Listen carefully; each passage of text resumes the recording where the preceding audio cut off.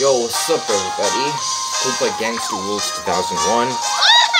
Mm, and I'm just gonna try out, and your boy Koopa is just gonna try out something very rare. See what actually happens. I was controlling both Dry Bones and Koopa. Um, and Square Out. And I actually want to see what really happens when that's a draw um, Dry Bones and Koopa. I made sure they win multiple mini games. So, uh, I'm not even gonna let either one of them win. By the way, Yoshi and Bowser Jr. are set on very hard for Dry Bones and Koopa.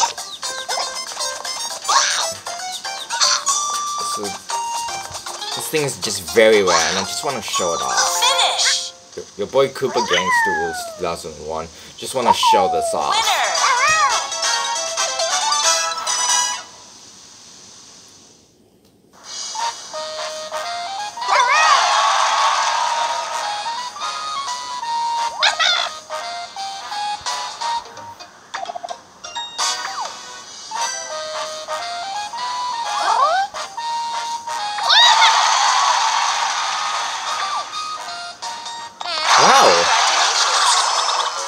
Nothing... Seriously, Toad?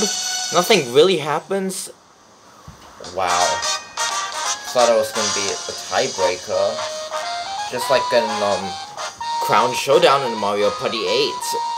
And, um, Step It Up for Mario Party DS.